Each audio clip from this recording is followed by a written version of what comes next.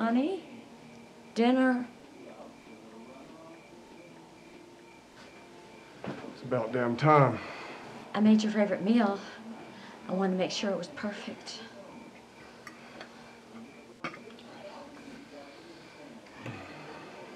Well, I just want to make sure you were happy. Do you want a beer? What is up with the stupid ass questions all the time? Yes, get me a beer.